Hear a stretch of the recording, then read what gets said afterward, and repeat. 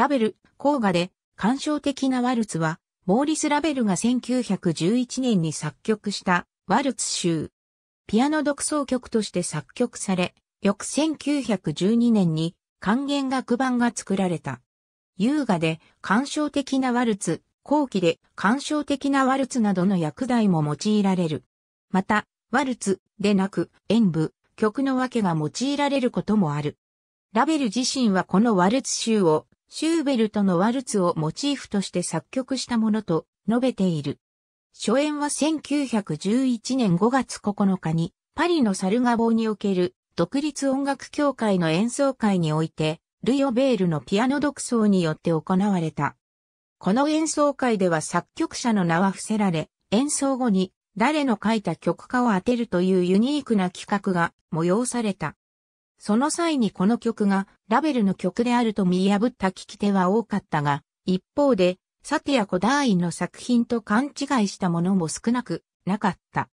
還元楽版は1912年にロシアのバレリーナ、ナターンシャ・トルハノフからの依頼を受け、バレエ、アデライード、または花言葉のための楽曲として、わずか2週間で作られた。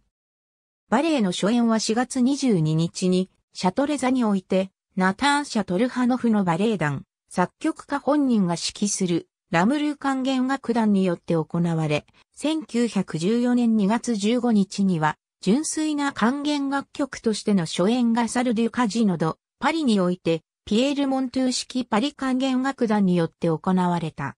なお、管弦楽版の日本初演は、1938年9月28日、日比谷公会堂にて、ヨーゼフ・ローゼンシュトックと新興教楽団が言った。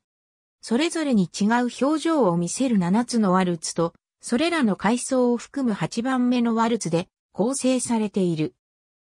第1ワルツ第2ワルツ第3ワルツ第4ワルツ第5ワルツ第6ワルツ第7ワルツエピローグモデレアセレントモデレアセアニメプレスクレントビフマワビフエピローグレントハット AB アービーウォレンシュタイン井上さつき役ラベル生涯と作品音楽の友社2006年83から85ページ1820年頃のパリを舞台に高級娼婦アデライドと彼女をめぐって争う二人の男性の物語である。ありがとうございます。